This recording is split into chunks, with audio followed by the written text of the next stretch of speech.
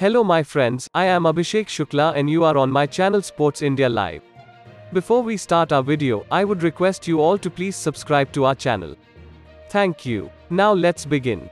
Jaipur Pink Panthers held on to its captain Deepak Niwas Hooda by exercising its final bid match option as it heads into season 8 of the Pro Kabaddi League. The former champion attracted eyeballs aplenty on Tuesday as it roped in Arjun Deshwal for a massive 96 lakh rupees.